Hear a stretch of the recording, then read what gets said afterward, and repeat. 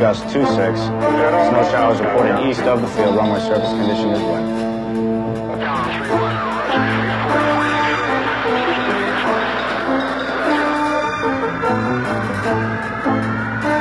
Bitburg, Quest release, Eagle 412 F-15s, cut off one departure.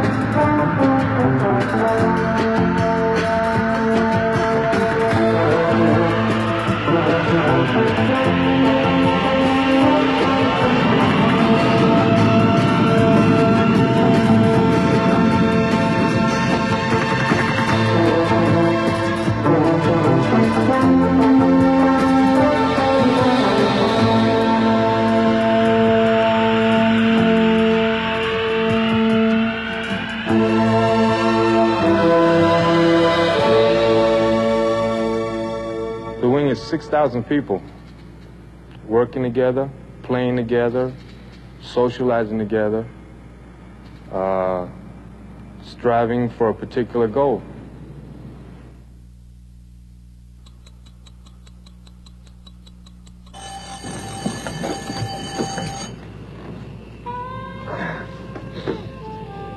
Ed. Ed. Up. Here we go again. You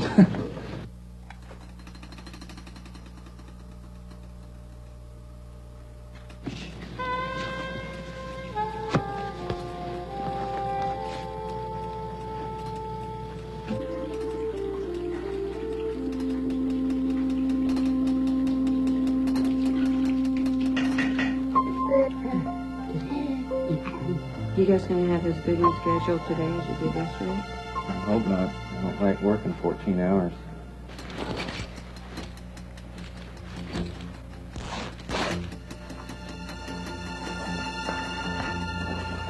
Heavenly Father, we thank you for the food we're about to receive, for the nourishment of our bodies through Christ's sake. Amen. Now go.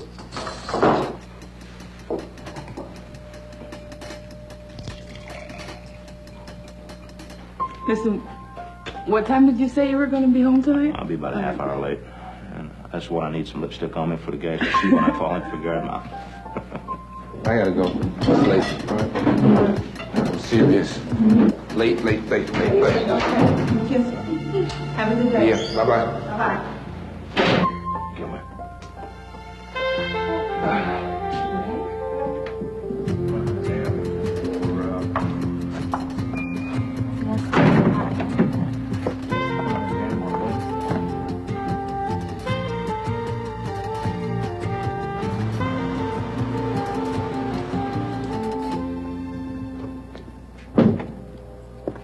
Name is Greg Clausen.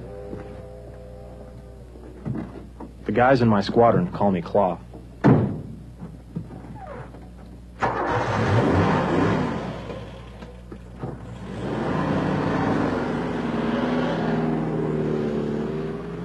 There are 7,000 of us living here at Bitburg, 3,000 working for the military, the rest military wives, husbands, and children.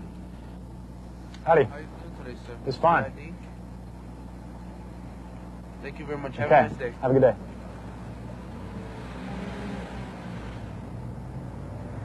We're all here for a purpose. It's called the mission. My part of that mission is to fly McDonnell Douglas F-15 Eagle. Bitburg's mission is to ensure air superiority in our sector of Germany as part of NATO. And we're part of the Air Force's overall mission, which together with other U.S. and Allied military services is to discourage the other guy from trying anything. That's a pretty big job, and a pretty important one, I think. Gene, what'd you find on this thing on that uh, RT? Uh, got a broken connector. Gonna have to replace it before we can get it up. He'll probably spare out this airplane. When he comes back, We've got a hydraulic switching belt check on it. You want to make sure we uh, we get that knocked out. Okay. Meet That's all the the hydraulics we got for today? Yeah. They're giving us about an eight-hour E-Tech on it, so we'll need everybody together to help put that thing on when we get it back up here. Well, I can go ahead and grab a tow crew and get it pushed back in the tab V and start getting the panels down. Okay, good. Gene, you got anything else you want to bring up to these guys? What we need to do is we need to get this one back inside because of the, the weather. It's, it's gonna start to snow a little bit. So let's let's get on this one first, and then everybody else get to their jobs, and uh, let's get the rest of it done. Okay. Okay. Let's do it. All right.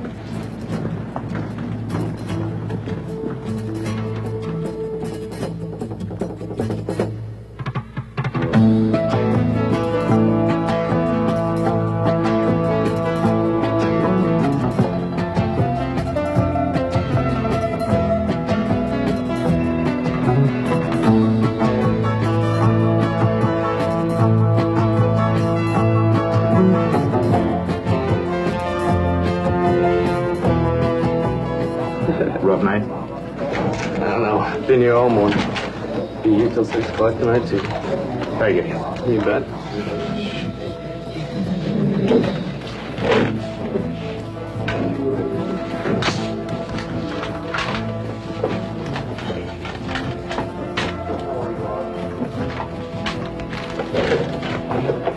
Catch you guys later. Hey, good morning. Well,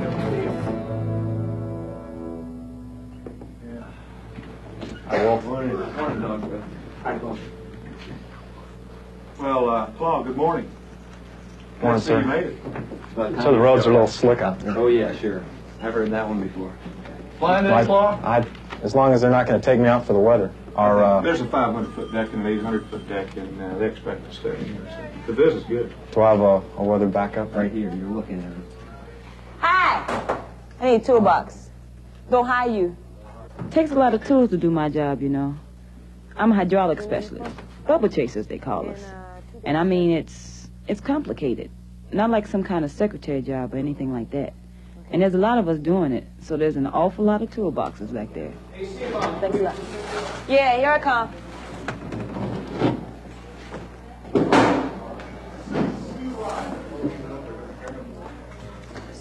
Oh. And Jesus, each of them weighs a ton.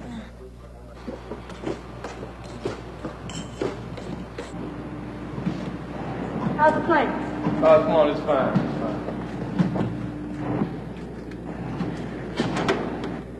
fine. The plane I work on is an F-15 Eagle. It's my baby. And I gotta work on it to get everything just right. Perfect, in fact. So it's all ready when the pilot comes out to fly it.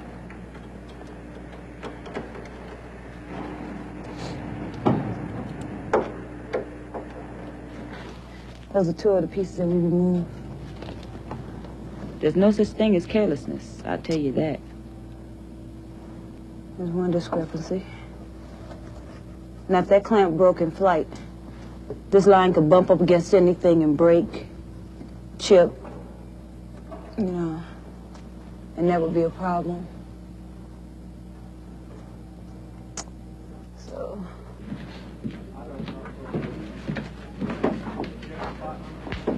Razor. Morning. Hey, you guys ready to go kill him? I have three zero and ten seconds. Five, four, three, two, one, hack. Okay, let's go with the lineup card. It's on the board. Uh, Talon 3-1's a call sign. We'll get to the jets at 10 o'clock. Like to start engines at 10:20. Please let me know ahead of time if you have any problems on uh, balls, which is 2869 Tiger Rock. Ceiling is uh, Stratus at 1500. Visibility is 4 in uh, rain showers. We got winds uh, out of the west, 26010, gust 24, and altimeter 2955. When you get out to your airplane, make sure you double check, the, make sure everything's ready. Uh, the maintenance guys tell me that the TCTO they've been working on, which is the tech order compliance, so they got to make some changes to the airplane. They are moving smartly along, but your airplane is one that they might be working this morning. So double check the panels are all buttoned up, and the maintenance guys have all uh, left the airplane available for you. I know they've been working all night on uh, getting it ready. Okay, as we said, we'll be a three ship. Make sure that uh, we get out to the airplanes in a timely fashion. Razor, I understand yours has a uh, radar problem, so we want to pursue that. Job control tells me that they will be swinging the whole package out, so uh, double check, make sure you got a good radar. I would like to, since we're emphasizing radar search and sort techniques, uh, make sure you do have a good uh, package before you go out. When the aircrew comes to the airplane in the morning, we try to have the airplane and ready for him to climb in the cockpit and take off. As near perfect as we can make it. It should be coming from your aircraft relays. Yeah, it goes back through relays in here. It's your holding circuit right here. We're at the point now when you start from point A again, shoot the wires all the way down, all the way through, and find out, because we've changed that whole secondary power system. What I can't understand is uh, why the, why the analyzer, if it found this problem with the decoupler change last night, why it wasn't used earlier in the week. I mean, this is a week-long problem. See, what, what we're Last doing here is we're fighting against each other. What we should do is say, hey, it could be this, and it could Okay, be this. we know, The we only know thing we're not we getting could do- power down to that switch right now, right? That's what was determined last night with the SCS this morning by grave shift, and it was done twice. Okay, so that gives you a place to start. Yeah, Right. yeah, I'll check for power. If I don't got it, I'll just I'll shoot every wire. I have to tear the plane apart to do it. But What would happen if you guys and avionics screwed up? you don't screw up. tell you the truth. It won't go out of here screwed up, I'll tell you that. Everybody understand what I'm simulating here? I want to make sure that we understand, in this case, you're going to have to use, you're uh, perfectly free to use anything on the radar you want. We're going to look for short range pickup, and what we really want to emphasize is initial moves to get the, the nose pointed toward the bandit, kill him as quickly as possible, get back together for visual mutual support, and resume our cat. Don't assume there's just two of us. Get in quick, get your kills, and get out because as soon as we see you, we probably now it's two versus one. We're probably going to give you a hard time. What I'd like to do is engage the bandit, if time permits, go into a pincer type maneuver. If he chooses this guy, he sets this one up. You roll in on his stern and shoot him.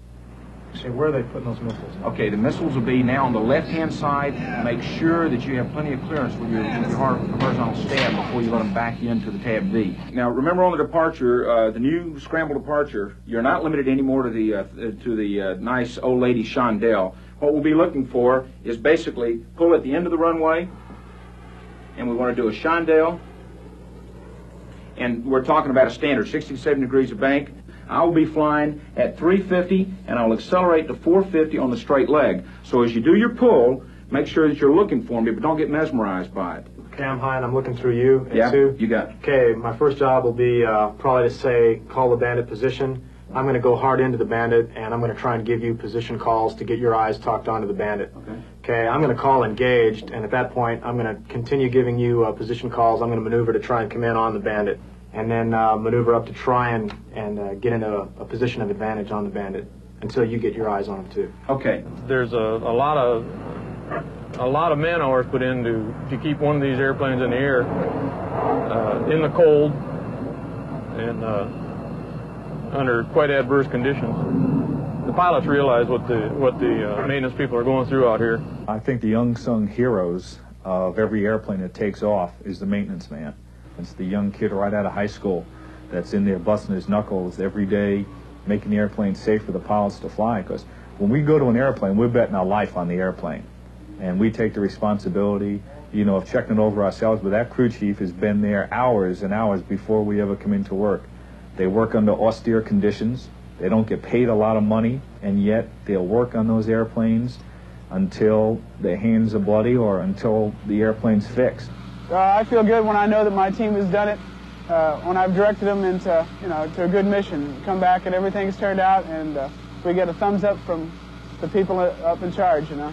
The feeling, the feeling uh, that you're accomplishing something is the biggest thing. You know, if uh, everybody's working together. Um, you know, it takes it takes the crew chiefs for crewing the airplane. It takes our weapons load crews to you know put the airplanes up. The missile delivery people. I've been kicking around on this flight line out here for 19 years. You don't do that without carrying some. Yellow 3 on 2. Right, I'll pick up uh, Chalk. You got something else put on We just launched our last three out there now. We got uh, one more going to be going here shortly. When you talk, This one down, Ernie? I think when you look at the maintenance man, you see a perfectionist, a guy who's given a giant, complex, inanimate object to take care of, and then breathes a personality into it. That he knows its faults, its good points, and its bad points, its little quirks, and is willing to spend the time with it, working and tweaking it up a little bit, and making it just that little bit better, so that when the pilot comes, he can walk up to an airplane and say, "Hey, chief, how's it today?" Chief's going to say, "Hey, it's terrific." I'm the last, I'm the first and the last guy. His life is in my hands, so to speak. If my plane is unfit to fly, I'll tell him it's unfit to fly. Because if anything happens to that plane and he doesn't come back, I feel responsible. The result, the results of it is, is closeness.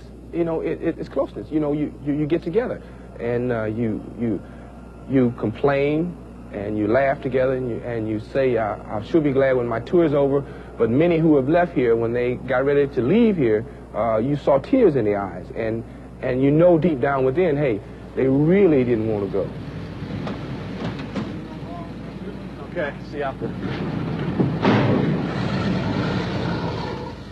Morning, Sergeant Dew. How you doing, sir? Just fine. How are you? Good. Good. How's the airplane? Good. Has it flown yet today? Uh, no, Okay. When I get into the airplane, I know I'm going to be doing my job, and I also know that other people have done their job. So that really, when I go out there, as I do my walk around inspection, I'm checking pretty uh, superfluous type items, things on the exterior that show up well. There's no way I can pull panels out and check and make sure that the guys that were checking wing attach bolts did their job. I just know that they did it.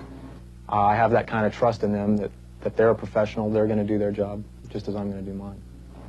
Okay, it's going to be a uh, .9 sortie. We're just going to go out three ship. I promise not to break it for you. That's right.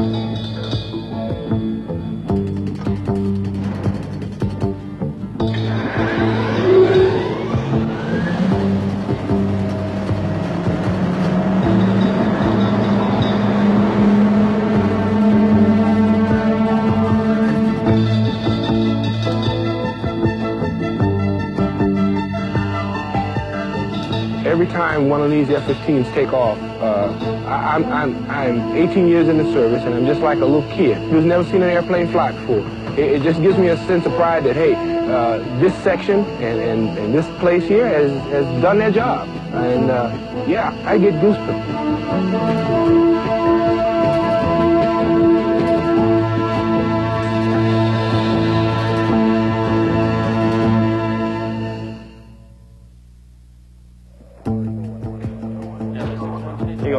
Eagle 7-1, Bitburg ground taxi to runway 24.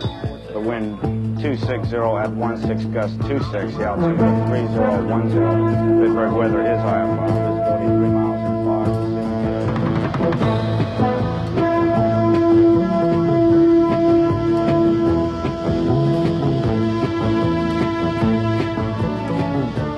This is the best fighting airplane ever built, and it's the best in the world right now.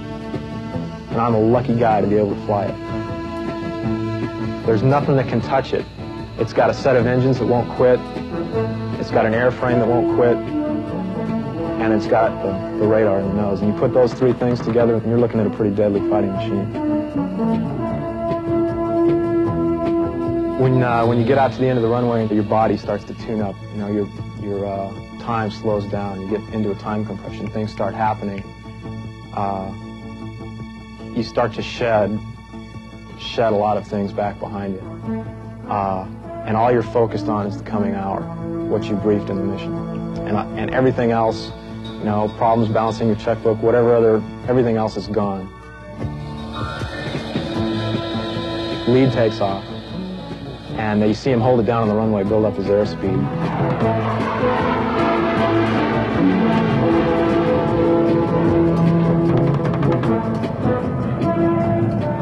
He gets to, into the runway and you see it looks impossible. This plane's going straight up. And you realize that in 10 seconds, I'm going to be there doing the same thing.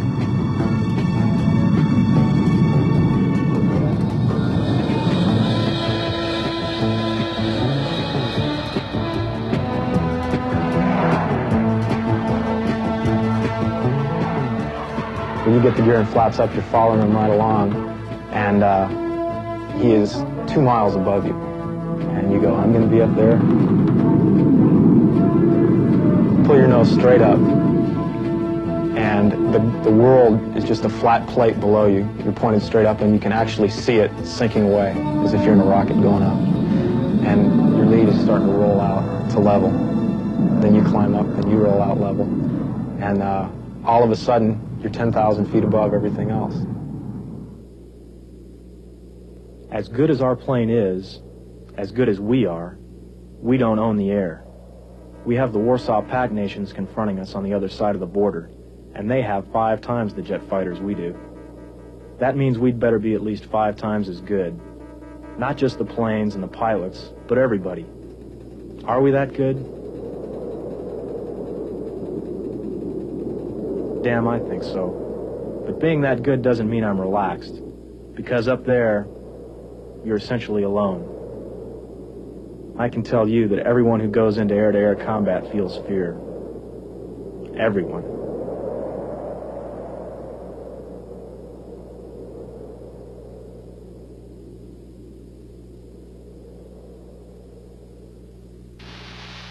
Okay, Claw, I've got a uh, single target, uh, 20 right, 15,000 feet, range 20 miles. Okay, Claw's got a single target, same for 31,000 feet. And we are ready to play.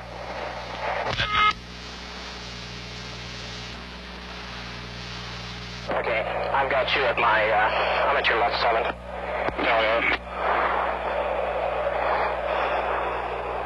Okay, Claw, I'm going to put him on the side of my scope to avoid the Fox 1 going left. Eyes open, he should be right behind us. Okay, here, he's go. Right to us now. Tally who what? Okay, we've got a short, tally 1, Fox 1.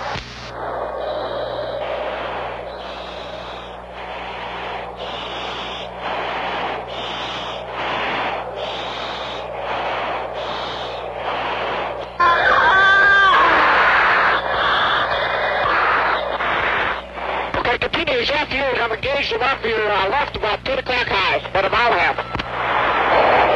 Him back to your your right. He's right above you now. Right above you. Break right, break right.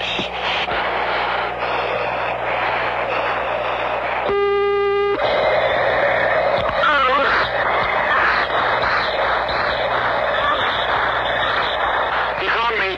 Continue. We're passing uh, head on right now. I'll come back to the south here. We got one person from the south. Yeah, I got the one on the left.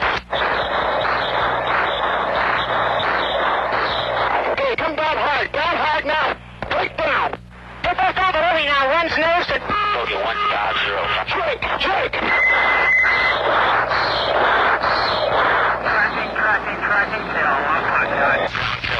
Okay, knock it off, knock it off. knock it off. Uh, Not ready, knock it off. You got me again, Ripcord. Just trying to pay you back for getting tracked all the time. Flying fighters today uh, is probably the purest form of combat. And that I realize that when I enter the aerial arena, that regardless uh, of the odds, that there's a fairly good chance that it will all boil down to um, me and my airplane against an opponent and his airplane, and that only one of us will leave the fight. Uh, the opportunities to for both of us to get away will probably be remote.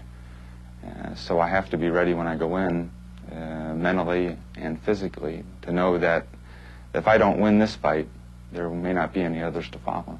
But it's a physical task as well because it's a strenuous uh, occupation when uh, you engage in an aerial battle that lasts seven to eight minutes, at which time during the battle you may, from 10 to 20 times, pull uh, seven uh, Gs or so. Okay, let, let's say it was sitting in the cockpit now and I'm up here flying along. I've got the stick here and my throttles are over here. So now I'm starting to really get into a fight and I'm pulling G's and turning the aircraft. Well, what happens is, as you pull G's, you've really got to sit up straight because your head weighs an awful lot. So what we wind up doing when we're pulling G's and we've got our tunnel vision problem and we've lost our peripheral vision is you wind up having to turn around.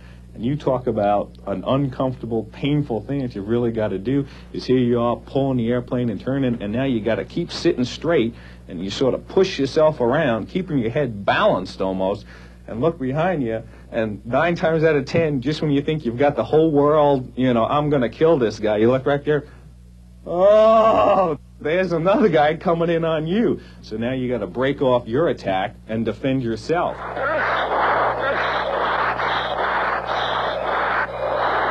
have a man coming down now at 8 miles, 17,020 right now. What's your uh, right? Uh, 330 high. In an air combat is like a chess game. Every move has a counter move. And it's not so much as making the right moves, it's making the least mistakes.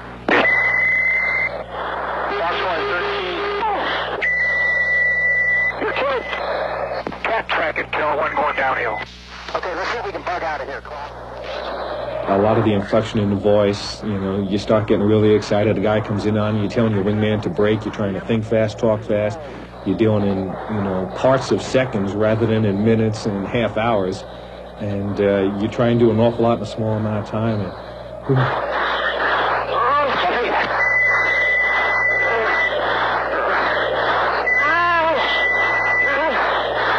Tumble left, tumble left. Nobody likes to get shot because you know that except for just being just a training scenario, the mistakes that you make in this thing are the mistakes that, you know, you could make on a real life mission. And instead of just being uh, called to kill, you'd probably be killed. Robert, did you just call a shot? Yeah, I called a shot right at time I got the fever, but we'll continue south. Okay, Cat, I'm meeting uh, both of them head to head. Let's knock out north. Don't go too late now, Heels. How you doing, Cat? Uh, say again, Heels. Heels is dead. Okay, I can just start easing it on down. Heels, knock it off. Spit, knock it out. Heels, knock it off. Cat, knock it off. Waldo's knock it off. You can knock it off. Ratty, knock it off. Okay, enjoyed it.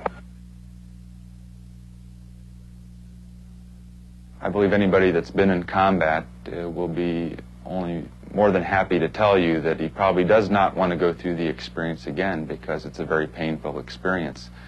Uh, the fear you learn to live with, but you never learn to live with losing close friends, and uh, by the nature of the beast, that occurs quite frequently.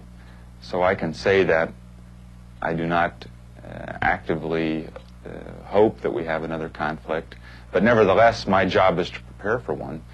Uh, and if I look at the current uh, world situation and assess that there will be no conflicts in the future, then really there's not much meaning to my job. So I have to be ready to go fight. Uh, and if I'm called upon, of course, I'll be the first uh, one to volunteer to go because that's essentially what my mission is. But to desire it, I think, is, is something that's far different. And I don't believe that people that have been there before are very eager to face that type of situation again.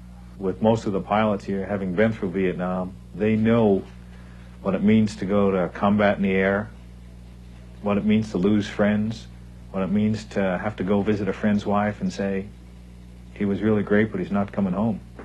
So I hate war. I've been there. I don't want to go back, but somebody has to do it. And I'm ready. You know, my dad told me something once that was, and I still remember it quite vividly, is uh, I fought in a war so that you wouldn't have to. Uh, it's a continuing thing. We keep doing it because we keep hoping someplace down the road somebody will not have to do it. It hasn't worked yet. We've always been involved in some skirmish or someplace, so uh, to say that there won't be a war or there will be a war, I think is, is kind of uh, up in the air. We don't really know. Uh, but I will say this, if it happens and we have to fight in it, I'll be there.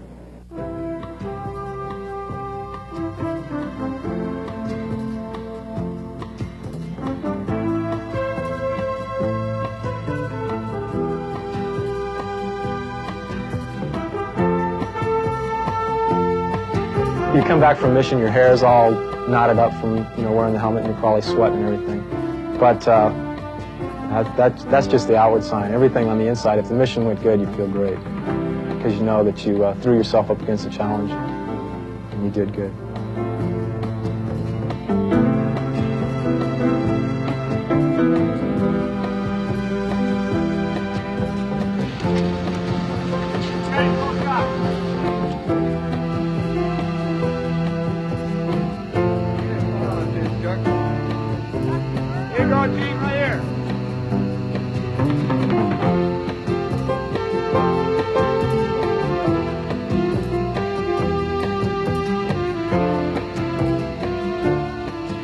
Finally get your plane back to the Tab V, the hangar, there they are, the maintenance crew, the people who make sure it flies. And they baby that bird like a pit crew at the Indianapolis 500, getting it ready for the next time. Tomorrow, maybe.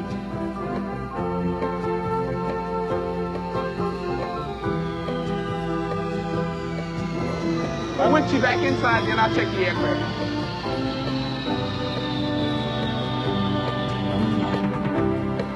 Good as I think I am, it's the plane that gets the job done. And they're the ones who take care of that. In a way, they're up there with me.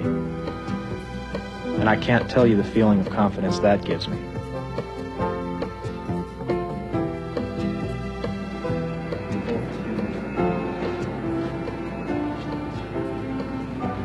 Okay, I gotta get the no accelerometer readings together. Okay, that does it. Okay, have a good day. See you.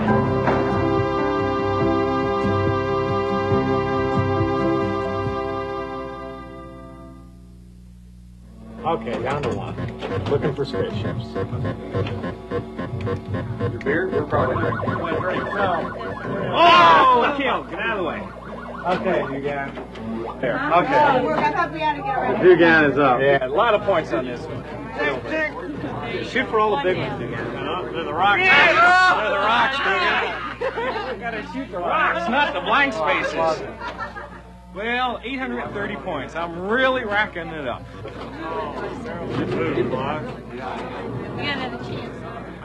You know, sometimes people ask me, and sometimes I ask myself, why have you stayed in with the long hours and so-so living conditions? Well, it sure hasn't been because of the pay, because I could make a lot more in civilian life. In fact, the pay's been so low it's a little hard to put up with.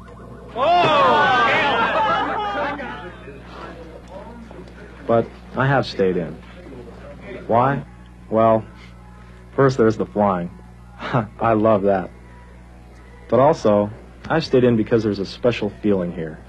It's hard to put into words, but everybody here feels it.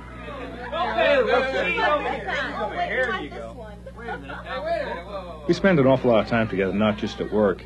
You know, sitting around, shooting the ball, going to the movies, bowling, eating out, getting a little rowdy once in a while. We're going to show one of the acts from the, the show, and I'm going to tell you what one of the acts. You ready? The other day, we, we all got together and put on a big floor show to raise some money. Here we go. And we had it recorded on videotape. Terrific. We sat around the other night watching it, and it was as much fun watching it as it was putting it together.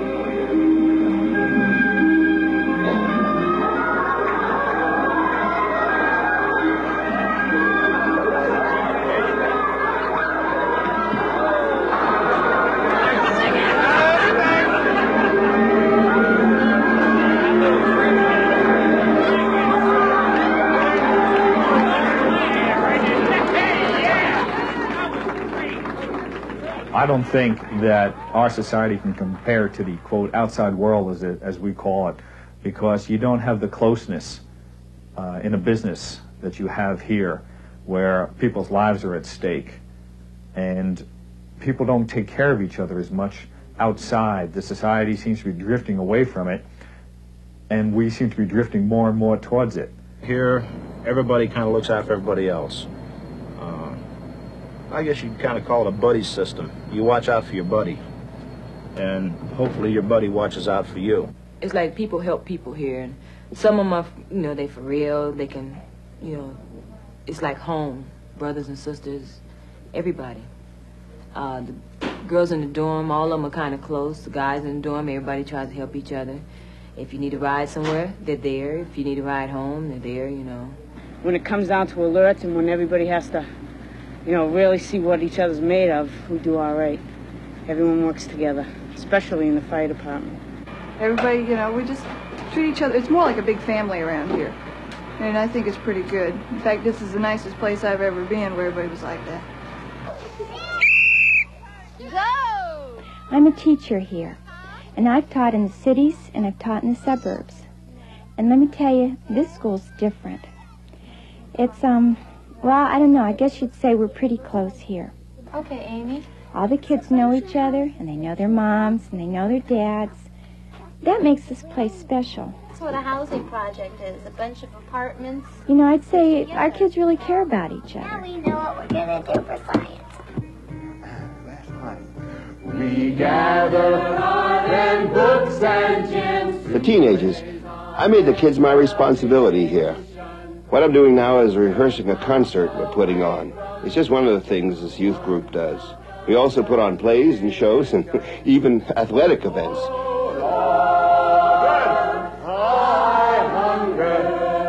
Okay. Let's have the lights up there.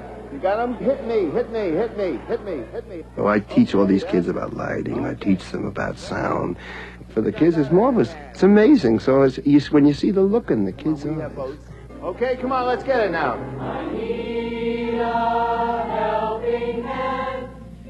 There's something happening with these kids. They're on fire. They're happy. They get they get exhausted. We don't have long rehearsals, but one hour and a half, they're dead. They're out on their feet. Good. Now, this is this is Thursday. We got one more day. We got to work very hard. On the count, I'll count. One, two, three. What? Get it.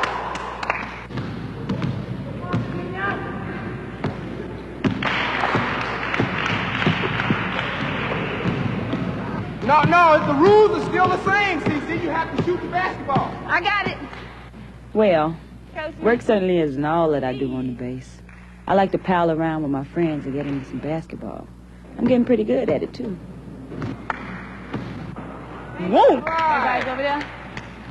I, I was born in the the ghettos of Mississippi in Gulfport, and uh, all I could have probably expected was uh, maybe working on the docks or, or a nice janitorial job somewhere, uh, supporting a family. Need to know if you can help us find a cannon plug stock. Here, I'm a part of something, and I'm a professional. I'm respected, even appreciated for what I do. And as far as I'm concerned, I think this is about as good as you're going to get it. The people who live in New York City or something like that, they always seem to be there stationary, but yet they don't know the people across the street. They, they don't know who lives down the road. They don't know who's running the store that they always go to. Well, we're only here a short time, but I think we know more about the people around us than anybody anyplace else. It's not that we're forced into it, it's that we want to. We have plenty of tension in our job, so we let off steam whenever we have the chance. And when one of our guys comes in after his last flight, before he moves on to another base, we hold a little ceremony called hosing down.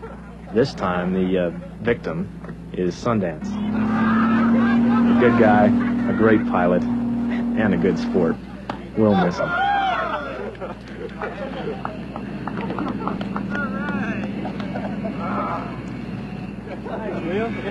You gonna let me out now? We do this for each guy that leaves, so uh, I think that can vouch for the camaraderie we have. And all I can say is it sure is cold out here. When somebody's sick, hey, can I go to the commissary for you? Uh, how about if I do your shopping for you today? That's the kind of uh, community relations that we have, uh, I think, throughout the community. And it's it's more so than you'll find on the outside, I think. Uh, I, I go to the big cities back in the States. Uh, we travel around, we see these sort of things, you know, and it's it's different. How are you? How are you? Good. Haven't seen you in a long time. What you been doing? I've been TDY quite a bit. Oh yeah, where'd you go? Let's go to Italy. All over. And you didn't bring me no souvenir? Uh, I have never lived in a community where people take care of each other as uh, much as they do in the military. And that goes for uh, from the one striper right up to the four star. If there's something that needs to be done, I can guarantee you the military family will do it. I know she's excited. Bet you are too. really? What room is she in? You? Having a baby is really something, especially here. When we had Jennifer, everybody showed up. The base hospital just couldn't handle it all. Can I put this by your window? There's your baby. Yeah. You get mom and dad here? It was really a show. I had to bring my friends in in shifts. Perfect. She's the most beautiful baby I've ever seen in my life. That's the way it is around here. Come on, baby. That's right. For you and your baby. Oh, thank you. Oh, you guys, it's really a relief to see some good friends. It's it's hard to explain, uh, hard to put into words what the feeling is about people that care for each other and care for for seeing that a job gets done despite lousy weather, cold, damp conditions frequently in the wintertime, uh, working weekends and uh, night. But they see it as a as something that, that's important, that is satisfying, and uh, and they know that if anything goes wrong, somebody's going to help them out. The driver got a work cut out for us tonight. The Chili Brigade. That's what they call us. Come on in here and get some Y'all chili. come on in. Ever so often we get together and bring the night shift out a little treat. Here's chili. I don't think it would matter what we brought. Cookies, chili, whatever. They're always glad to see us. And that makes me feel like I'm doing something to help out. Thank you. You know, you can go on and on with the kinds of examples of people helping each other. And I guess that's what we call community or call uh, that, that ingredient that makes, that makes the Air Force a great place to be and a great place to work.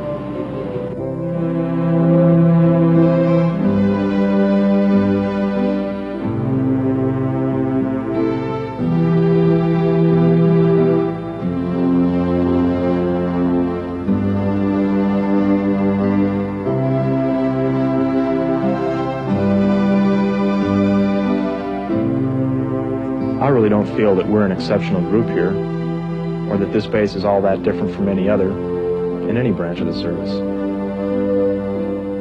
We're just a collection of, well, Americans who by luck or fate or design have come together to work and have found something that everyone seems to be looking for these days. Now, maybe it doesn't work for everyone, but for a lot of us, it does work.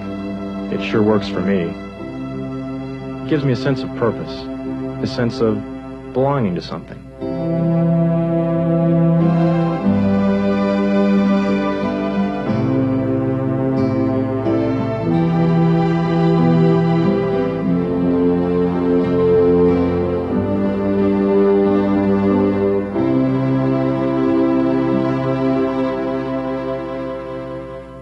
I don't know how to describe it. It's a personal feeling. It's a feeling that I've done something. The guys I work with have done something.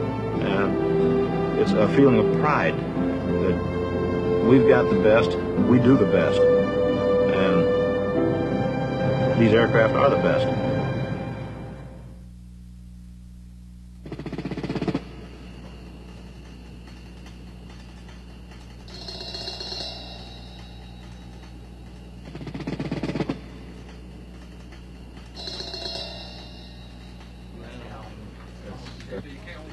When you're on Zulu alert, you sit there playing cards, watching TV, looking like you're relaxing, but you're really not. You're waiting for that klaxon to sound. You're waiting for, well, you never know what. And you're thinking. You're thinking about your wife and your kids, about your closest friends, about the people at the base, about this community you're part of. You're thinking about your folks back home, all the people back there, and everyone else who's dependent on you, even if they don't know it. Then the klaxon sounds, and when it sounds, all that thinking reminds you of why you leap to your feet and get to that plane, to get it airborne as fast as you can.